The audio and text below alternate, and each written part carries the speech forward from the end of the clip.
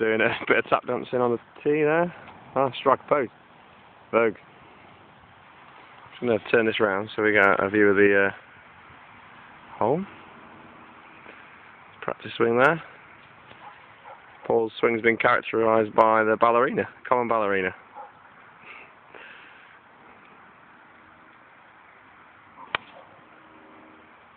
Okay. If only I'd point that in the right direction, that would have been perfect. Good length. and here he is. Jew Boy Ash. As, as it titled by his dad. Jew boy ass. Jew Boy Ash, got Jew hair. It's not fucking stupid. I'll hit him. Three iron.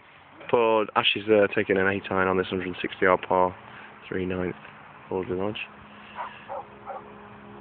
It's clean. Oh, he's uh, wanting to play some golf with uh, Paul over there. Oh, splash the bunker. There's going to be tears.